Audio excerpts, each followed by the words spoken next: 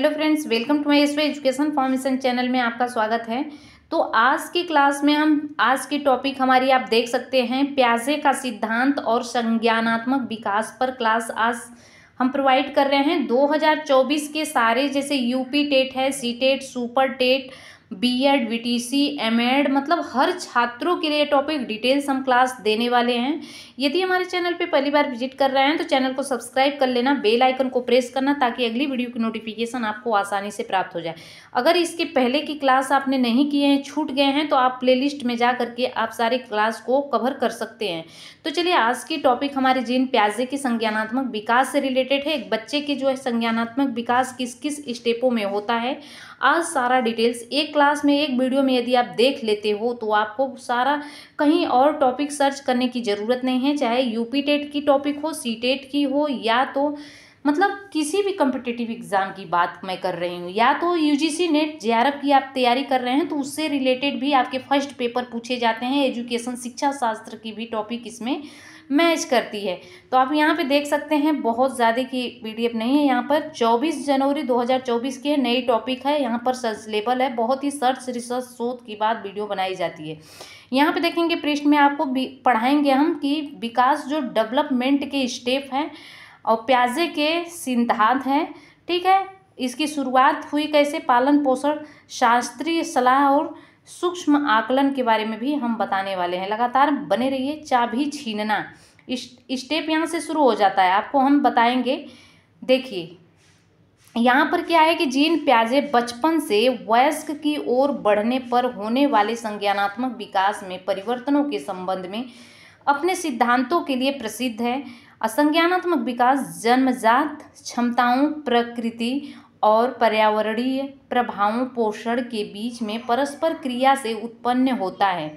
बच्चे चार अलग अलग चरणों के माध्यम से प्रगति करते हैं। जैसे एक छोटा बालक है, उसका जब जन्म होता है तो जन्म के बाद से उसके चार स्टेप हो जाते हैं। ठीक है, उस स्टेप पे बालक का क्या होता है? विकास होता है धीरे धीरे क्या संज्ञानात्मक क्षमताओं का और विश्व समझ का जो है प्रतिनिधित्व करता है?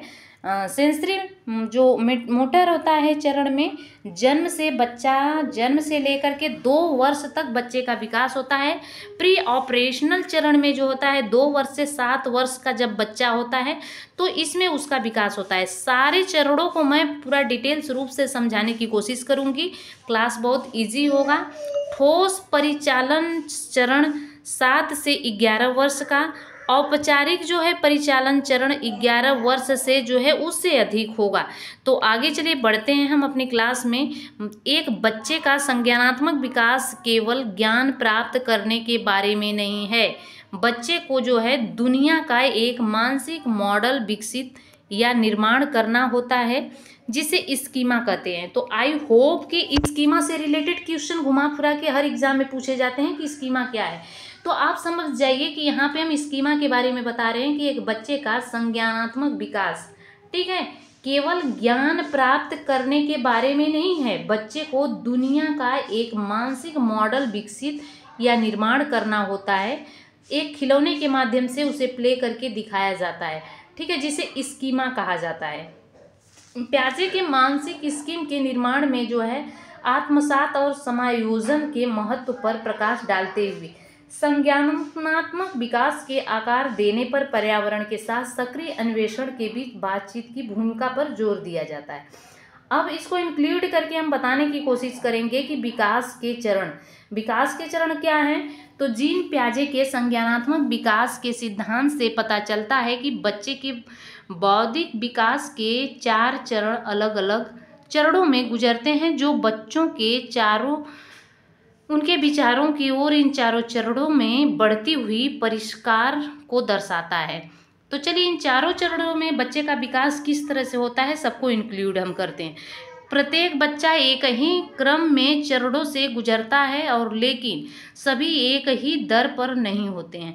और बच्चे का विकास जैविक परिपक्वता से और पर्यावरण के साथ बातचीत पर निर्भर करता है।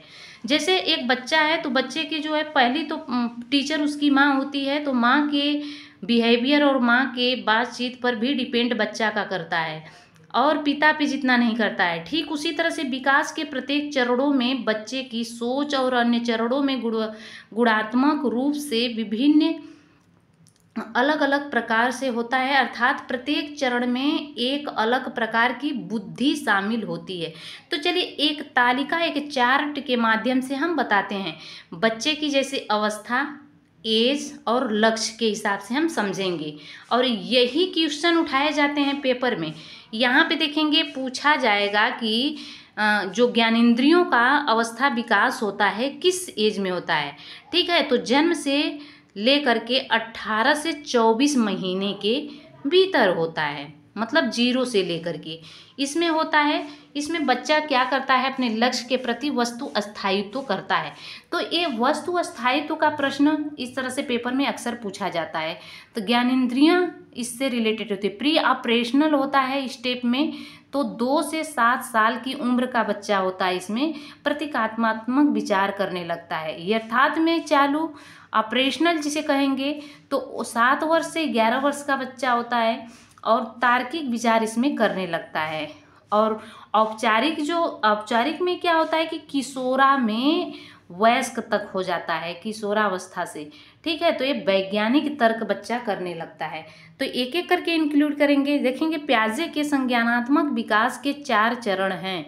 हालाँकि सब, किसी भी चरण को छोड़, छोड़ा नहीं जा सकता है। फिर भी बच्चे के, जो बच्चा है, उसके चरणों में प्रगति करने की दर में जो है व्यक्तिगत अंतर होता है और कुछ व्यक्ति बाद के चरणों को कभी भी प्राप्त नहीं कर पाते हैं।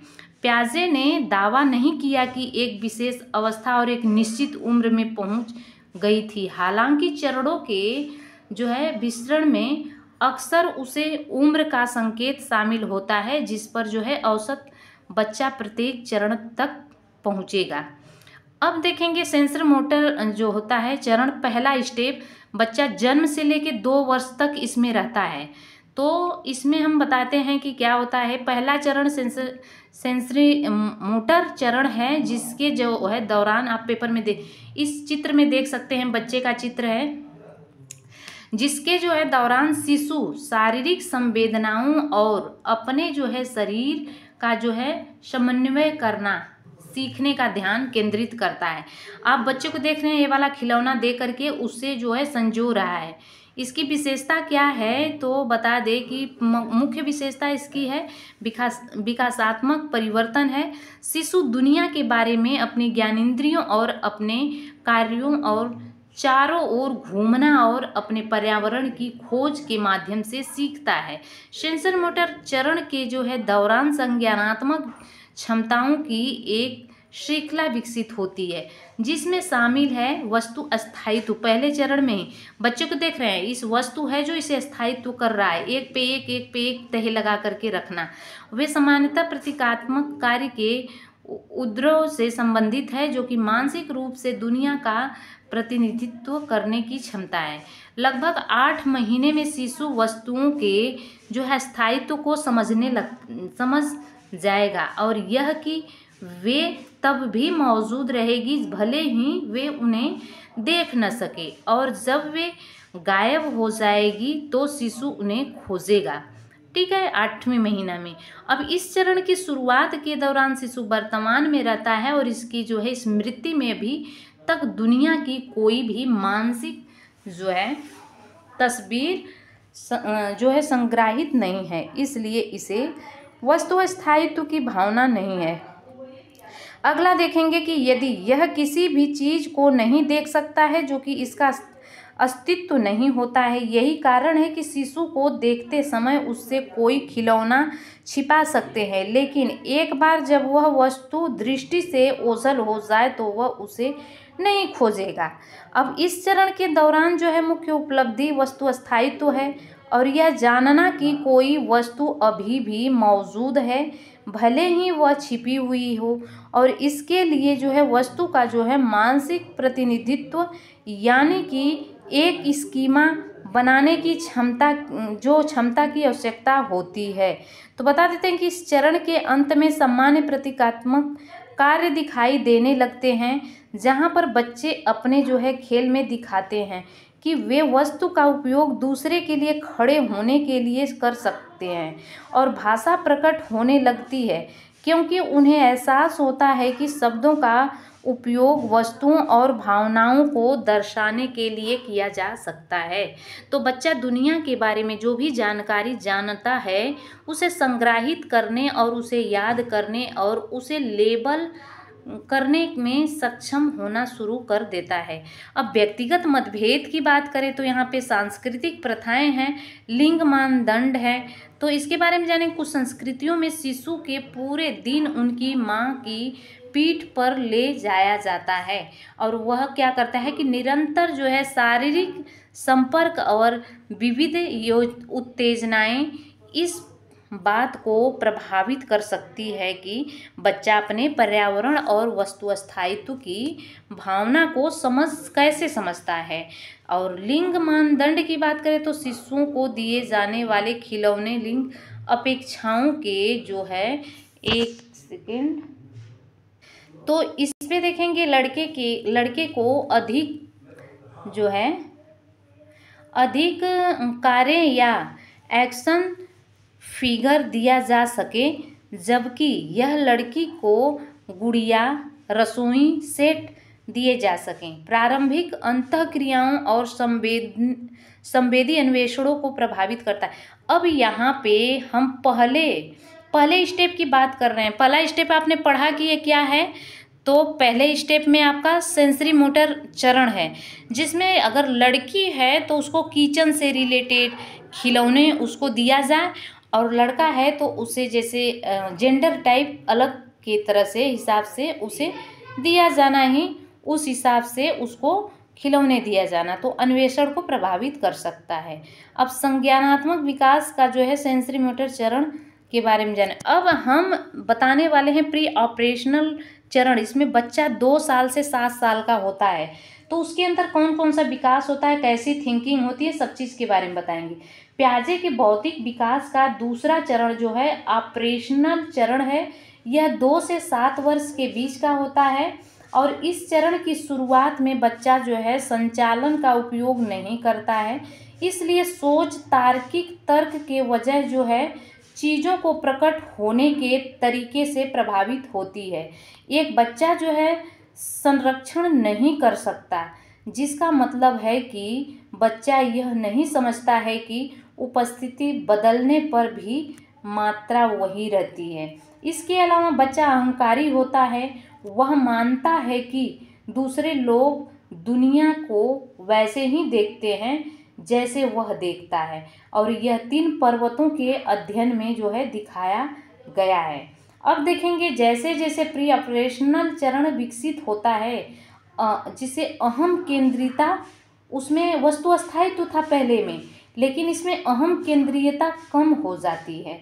बच्चे अपने खेल में दूसरे बच्चे को भागीदारी का आनंद लेना शुरू कर देता है। और आइए दिखावा इसमें आप चित्र के माध्यम से देख सकते हैं कि अधिक महत्वपूर्ण है। इस चित्र में आप देखेंगे, बच्चा ए बी सी डी का लर्न कर रहा है, वन, टू, थ्री प्लस भी कर रहा है कर ले रहा है। तो एज के हिसाब से आप देख रहे हैं, अब आगे बढ़ रहा है। तो बच्चे अक्सर ऐसे लोग होने का दिखावा करते हैं जो कि, जो वो है नहीं। ठीक, उदाहरण के लिए सुपर हीरो पुलिसकर्मी और इस भूमिकाओं को ऐसे जो है प्रॉप्स के साथ जो है निभा सकते हैं, जो वास्तविक जीवन की वस्तुओं का प्रतीक है। बच्चे एक काल्पनिक साथ, साथी का आविष्कार भी कर सकता है। अब मुख्य विशेषता इसकी क्या है? विकासात्मक परिवर्तन, छोटे बच्चे और छोटे बच्चे भाषा और लैंग्वेज, मानसिक कल्पना जो है, इमेजिंग है, उसके माध्यम से जो है दुनिया का आंतरिक रूप से प्रतिनिधित्व करने की क्षमता हासिल करते हैं। और इस चरण के दौरान जो है छोटे बच्चे प्रतीकात्मक रूप से चीज़ों के बारे में सोच सकते हैं। यह किसी एक चीज़ जैसे कि शब्द या वस्तु को अपने अलावा किसी अन्य चीज़ के लिए खड़ा करने की क्षमता है। एक बच्चे की सोच इस पर हावी होती है कि दुनिया कैसे दिखती है। न कि दुनिया कैसी है। और यह अभी तक तार्किक समस्या समाधान प्रकार के विचार करने में सक्षम नहीं है।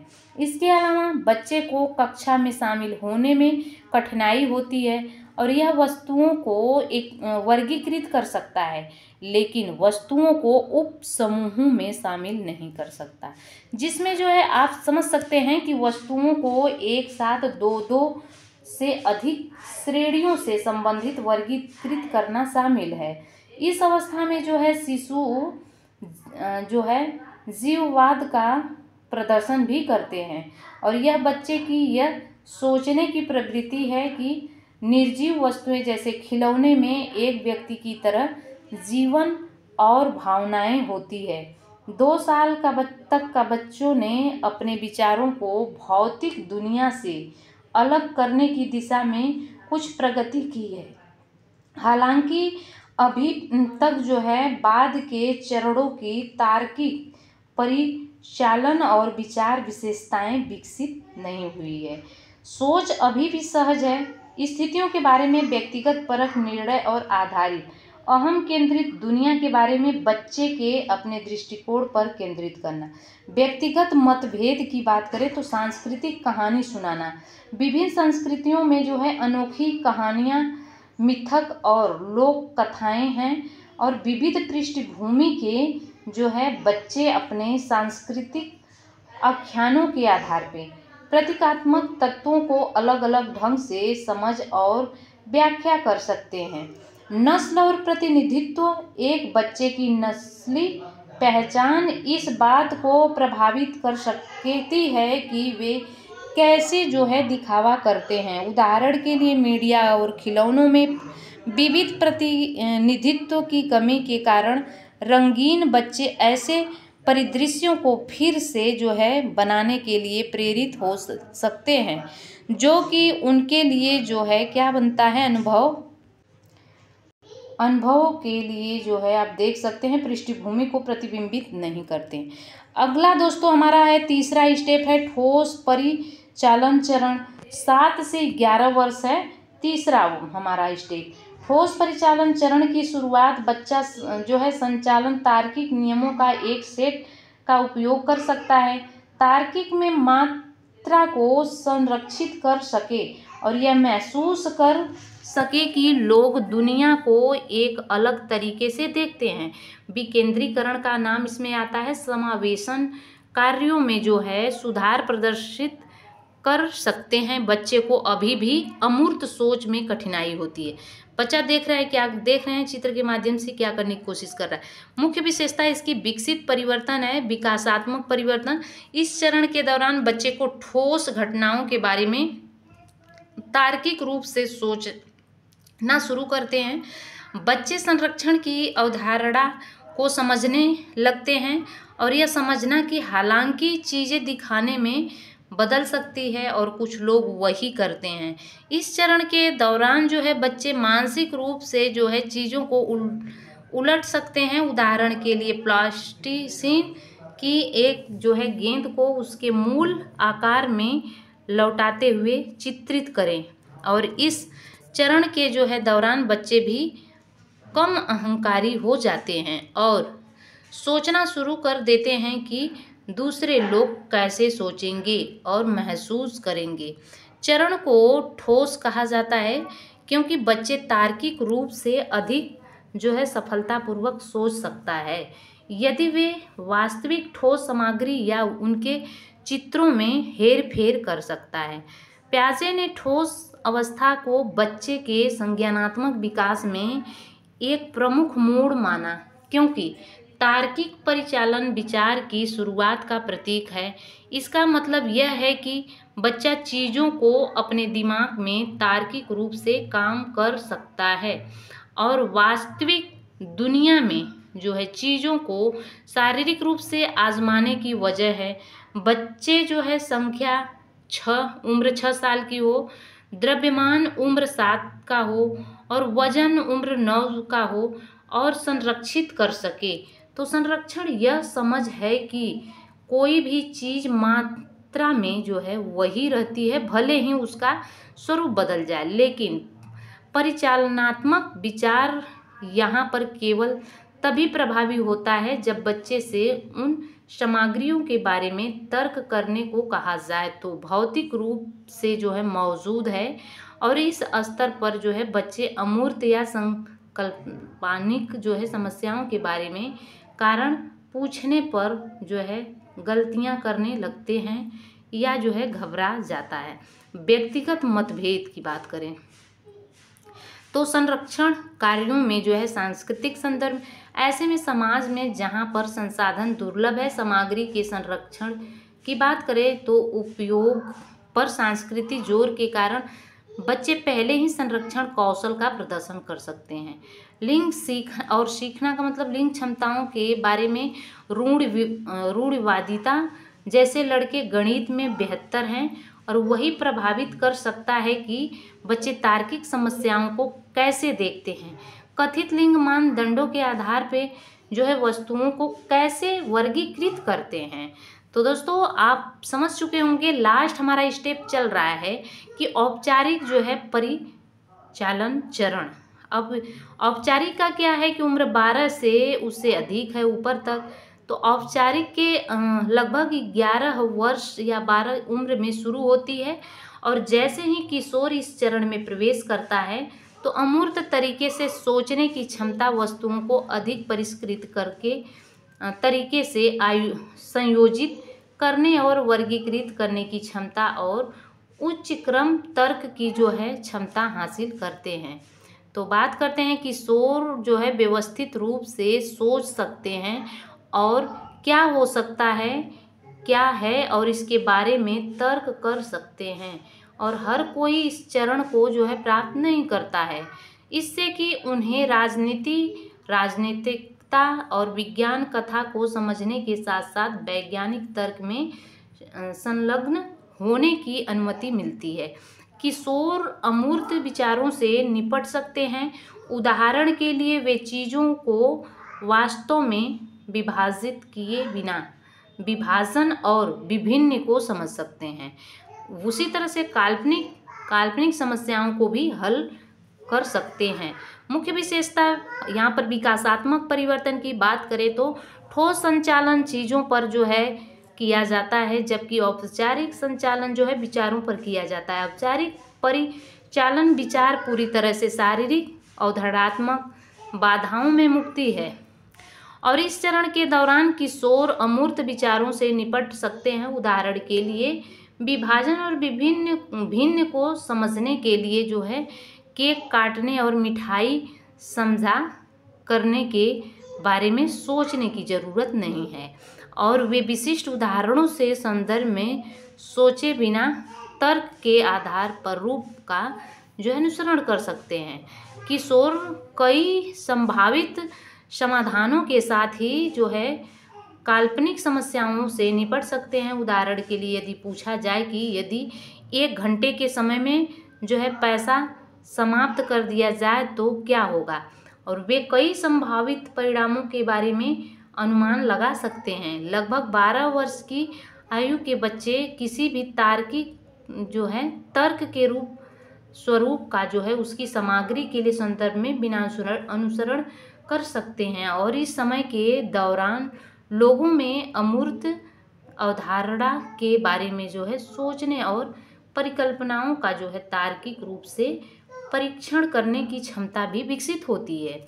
और यह चरण किसी भी समस्या का समान करने, सामना करने के लिए जो है वैज्ञानिक सोच के उद्भव अमूर्त सिद्धांतों और परिकल्पनाओं को जो है तैयार करने को देखता है। अब इसमें भी व्यक्तिगत जो है मतभेद की बात करे जाए तो संस्कृति और अमूर्त सोच की बात।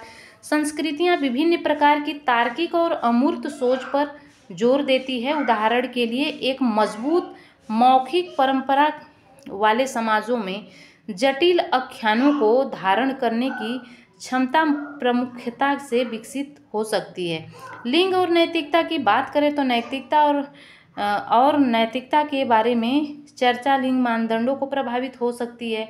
उदाहरण के लिए कुछ संस्कृतियों में जो है लड़कियों को सामुदायिक समृद्धता में प्राथमिकता देने के लिए प्रोत्साहित किया जा सकता है, जबकि लड़कों को जो है व्यक्तिगत जो है, अधिकारों को प्राथमिकता देने के लिए प्रोत्साहित किया जाता है।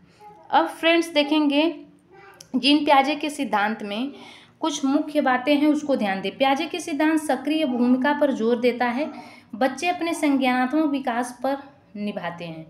प्याजे के अनुसार देखेंगे, बच्चे जानकारी की सक्रियता पर्याप्त करता नहीं है, इसके वजह सक्रिय रूप से अपने परिवेश का जो है पता लगाते हैं और उसके साथ बातचीत करते हैं। तो इसलिए कहा जाता है बच्चे का वातावरण और परिवेश अच्छा होना चाहिए।